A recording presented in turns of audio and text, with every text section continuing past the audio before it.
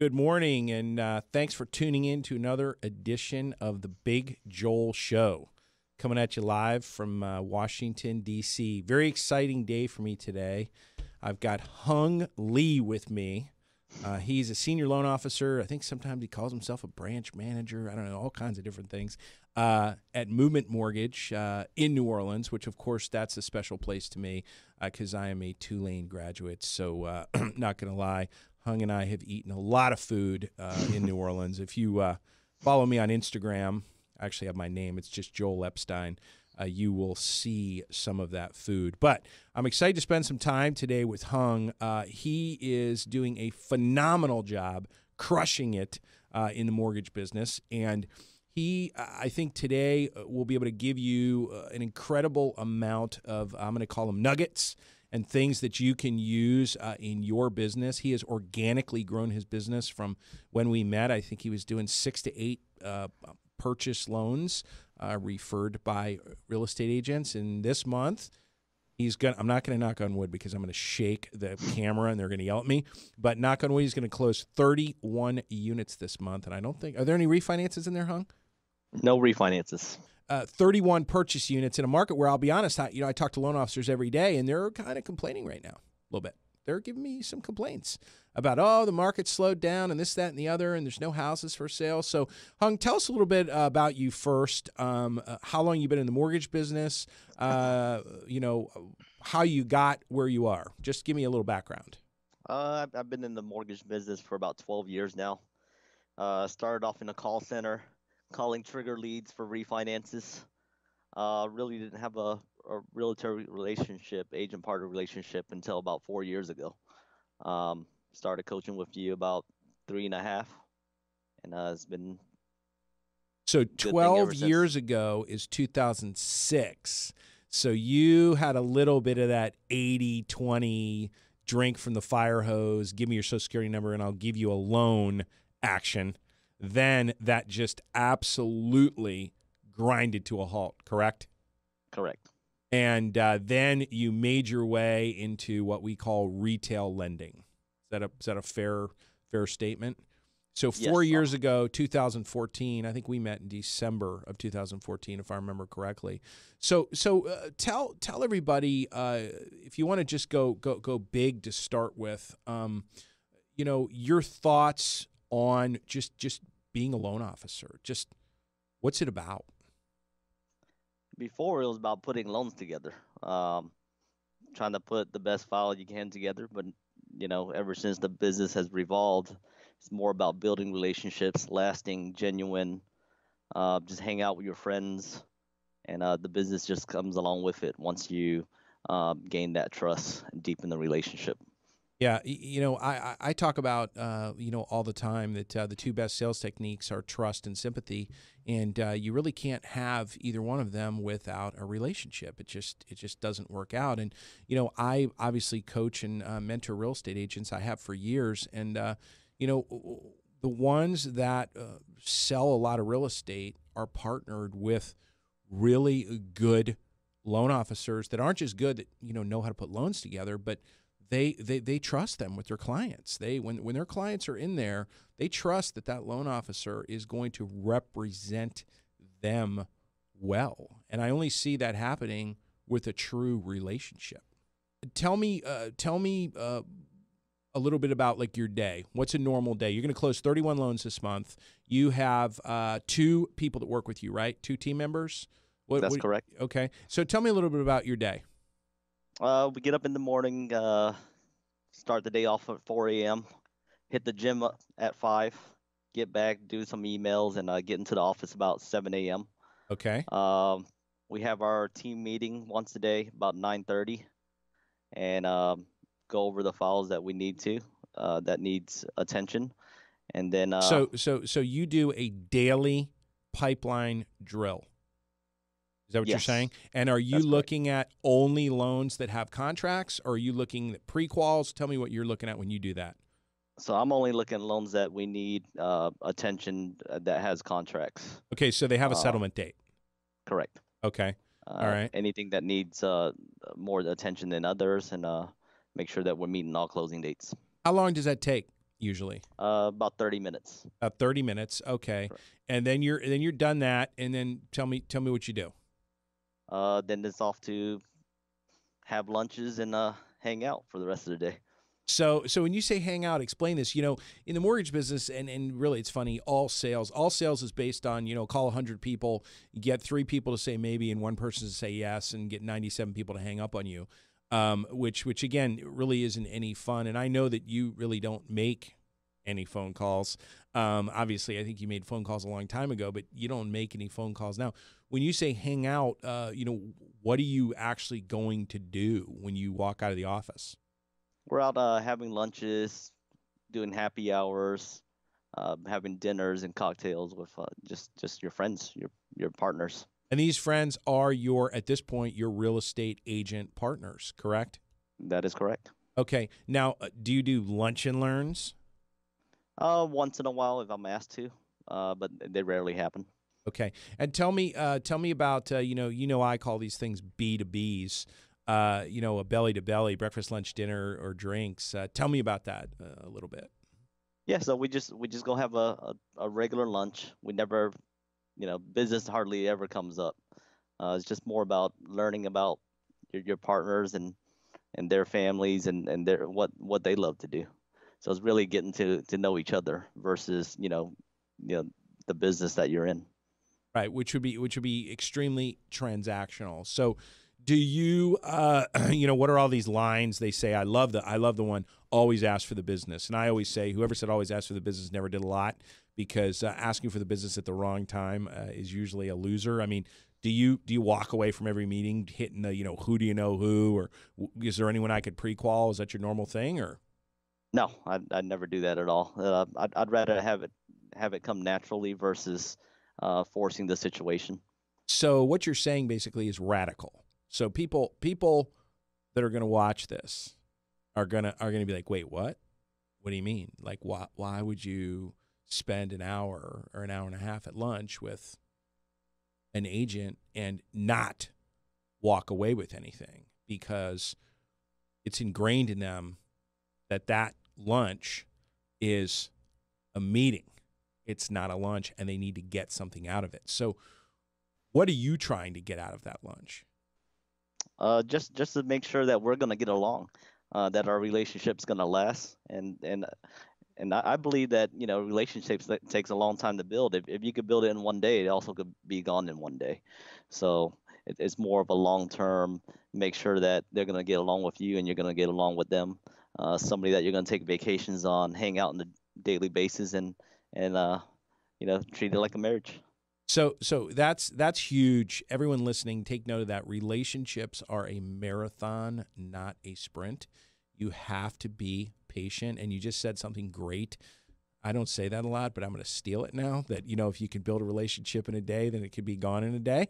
Uh, which is huge. And you know, a lot of loan officers have problems with being patient. They can't be patient. They can't wait, and they just jump the gun. The other thing you said was is that you like them and they like you you know, the key thing is you said you like them. I can't tell you how many times I talk to loan officers and they're chasing real estate agents that literally they don't like.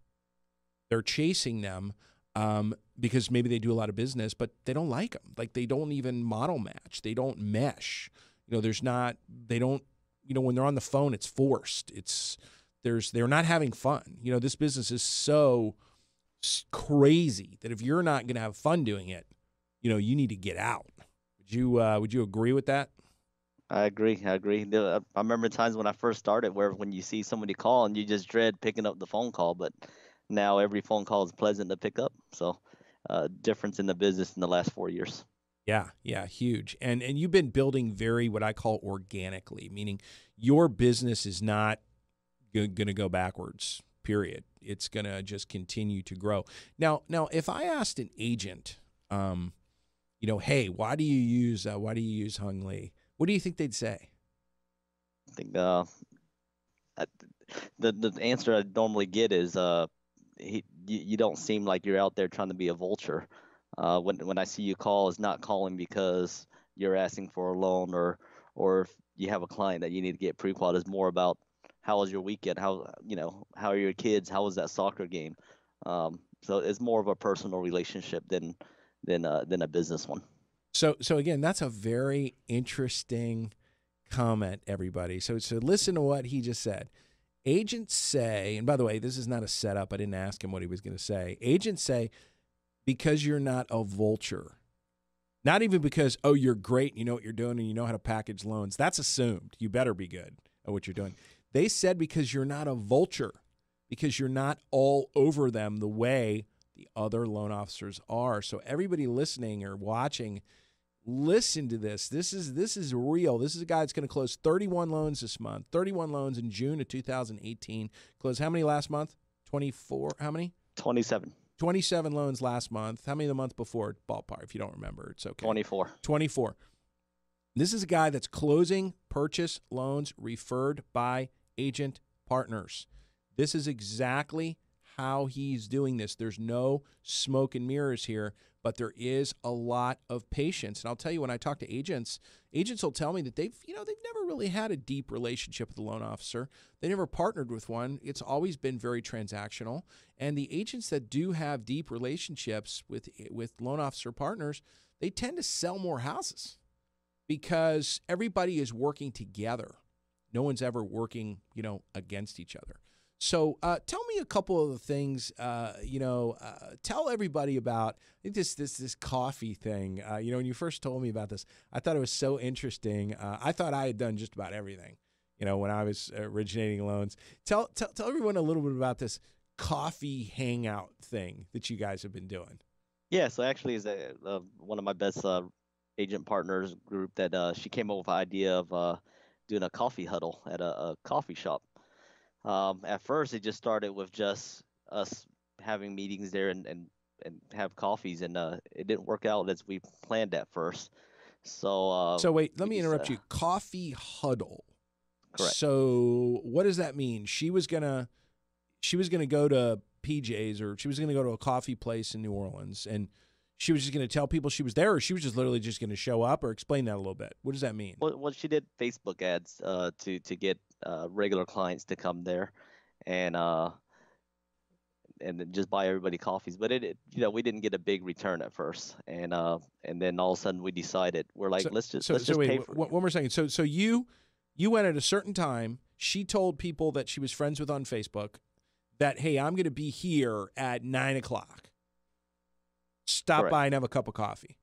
That's Correct. basically what she did. Correct. Okay, and you went with her. She said, "Hey, hon, come with me." Correct. So, Okay, so her, right. her team and I, uh, we're having coffee there, and, and you know, first few times it didn't pan out like we, we wanted to, and uh, so we're like, let's let's pay for everybody's coffee that comes in the coffee shop. So uh, as that started to happen, the cashier would just send clients over to us, or or just regular, you know, their normal clients over there, and just saying that these guys took care of your tab. So we'd, we'd eventually start having people just coming up to us and just talking to us, asking us what we're doing. And Like, And why'd you buy him uh, a cup of coffee? exactly, Basically. exactly. So that that's just the time for your agent partners to shine at that point. And uh, it's just become a good bonding moment for you and your agent partners just to see the the looks on people's faces, just making making someone's day. It's just uh, a, a great bond to have. Yeah, that that's uh that. So how long were you there? Two hours. Uh, we usually do uh, between 8 and 9 a.m. Okay. Okay. So so everyone, just to just to uh, just to encapsulate that, basically, he's calling it a huddle. Uh, the agent let her call it sphere. Her people know, hey, uh, I'm going to be at you know PJ's Coffee at you know on Broad Street or whatever uh, between nine and ten. Stop by and have a cup of coffee with me. Um, and what it turned into is not just people that she knew. She just said, you know what? anyone that walks in, I'll I got their coffee. and then the and then the, the the the cashier or whatever was saying, yeah, they bought your coffee. It's kind of like paying it forward, but you're paying it forward for everyone that was walking in, right? And then that caused people to come over and say, well, "Why'd you buy my coffee? What are you guys doing?" And then that created a, a discussion of, "Hey, I sell real estate and I do loans." Is that pretty much how it went? Yeah, yeah, yeah. It, it does, and uh, you know, some people might not ask you, but you know, just the you know, just the results that you get from it, um, making making somebody's day just just changes the whole dynamic of your of your team. So everyone, I'm going to take an aside right now because you're probably seeing, if you're watching this, you're seeing Hung's chair vibrate behind his head, and I just want to let you know that Hung Le does not like doing things like this. And when they ask him to be on a panel or do anything, he runs. Usually, he's hiding somewhere in a locked room. So uh, I appreciate him doing this. That's the nervous tic, or maybe he's just hungry. Are you hungry? Is that what it is? Yeah. I'm Have you been fed today? Okay. Um, so, uh, so, so everyone, I just want you to know that that's not a small like person back there moving the chair. Um, so, Hung, what would you tell a uh, what would you tell a new loan officer? You know, it's so interesting. Um, I think the average age of loan officers is 53 right now, and the average age of of real estate agents is 57. I mean, I think you know, you know I've been doing this since 1989 uh, when I was five. By the way, I got in when I was five. Uh, since 1989, and you know, I think it's the greatest career ever, selling real estate or, or, or being a being a loan officer. You know, doing doing loans, and young people are just they're they're not getting in. What would you tell someone if they if they're listening to this? Uh, you know, why you would want to do this, and and then and then and I'll help you along with this. And then what would you do? You know, what would you tell them when they first came in? I know it's a I, multi. yeah, go ahead. th- this is like probably one of the best hidden careers that a lot of people don't know about. Um, you know, it's it's it's flexible how how you want to make it, and you get to enjoy building relationships with people, and and and it's true, genuine relationships that, uh, you know, and you, and you get paid for it, which is and, uh, and and and but but you gotta let me say the you know the really the the ugly bad word. You gotta work, right? correct. Like you, you, you got to be prepared to work, right? I mean, I tell people all the time, you want to get paid like a surgeon, you got to do a residency for two years in the hospital, seven days a week. Saturday and Sunday is Monday and Tuesday. But if you do it, best career ever. And and I don't know whether people are are scared to do that. You know, whether this generation is you know people that age are scared to do it, or they just don't know what to do. Um, but I just I can't believe, you know, when you look around, you know, you go to these loan officer events. I mean, there's very few young people. Do you? I mean, very few, right? Yeah. Um. And uh, So, so, so, what would you tell them to do coming in? What would you tell them to do? Uh, uh, you know, what would they? What should they be prepared for? Uh, it's it's gonna be a slow, long growth. Um, better have a lot of savings because it's you know this is a, a lot of people take it this is gonna be instant. Uh, I would say it's gonna take at least 24 months to uh, to get some you know relationships going and and uh gonna need a lot of savings involved. you know, uh, uh, that's that's great advice. People get in young, they come in and they think, "Oh, nothing happened in 2 months. I'm out. I'm done." Excuse me. So so I'm done. And uh, you know, you're right. Patience is huge. Nothing is going to happen in 2 seconds. Doesn't work like that. You know, relationships are a marathon, not a sprint, and that's really what you have to do. So, um, tell me about uh, tell me about. Do you do any kind of events with uh, with your with your clients, with people you've done loans for? Do you tell me a little bit about that? Um, I, I do partner uh, with my, my agent partners, and they, they do client appreciation parties maybe every quarter. Um, they try to do something every month, depending on what month it is, depending if it's Taco Tuesdays or Wine Wednesdays. Uh, they get pretty creative, and, and I just partner up and, and tag along with their events. So it's pretty much because you're partnered with them. You handle the mortgages for most of the people there, so it's a great. It's great for you to go and you know and and you're you're getting to see everybody, right? Correct, correct. Okay. All right. Okay, great. Um, so as far as you said you get up at four, you go to the gym at five, right? Um, and what time does your day normally end on a normal normal week? A normal Uh, normal day, sorry. About uh, I usually leave the office about seven. Okay, so you're leaving Uh, about seven, um, and uh, you are usually done for the day, right?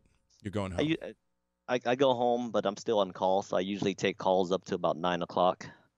Okay. Um, You mean then, you mean uh, you mean you don't turn your phone off at five and have an out of office email that basically says you're unavailable? You mean you don't do that? never, Yeah. Never have out of office, and somebody live always picks up the phone no matter what. Yeah. So so I, I want everybody to hear that. I'm not quite sure who out there is telling loan officers to use out of office email uh, and to turn their phone off and to not be available certain times. Uh, I, I want everyone to you're you're hearing a guy that's closing 31 purchase loans this month.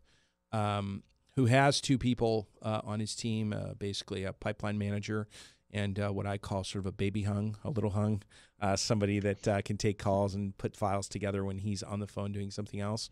But he does not turn his phone off. Uh, he is not uh, telling agents or telling partners or borrowers or potential clients via email, I'm not available. Um, there's no reason to ever tell anyone that. This doesn't mean you need to take phone calls at 11 p.m. because you don't. And if people are calling you, then you need to you know, set them straight the next morning. Um, but the reality of it is, is you're hearing a guy closing 31 loans who is available, and and if you think that you signed up to be unavailable, you're sorely mistaken. And if you're going to be unavailable, you literally have to earn the right to be unavailable. And good loan officers, great loan officers, even when they go away, you know, on vacation or whatever, they usually have a check in in the morning and a check in before dinner, something they're calling or they're looking at their email for 10 minutes or whatever it is. And this is a big notion. You know, I hear these mortgage trainers, these coaches all the time. Oh, I work four hours a week. I delegate everything. I, you know, and I would love to really see what their production is or actually what they earn. You know, I mean, you know, they have 27 people doing everything and they're earning you know 10% of what they should be making or 10% of what you make what someone like you earns. Um, and uh, you know again you know i'm glad to, i'm glad to hear you say that. I know that you know i know that that you do that. Now do you find that by building the relationships even deeper people call you less at inopportune times?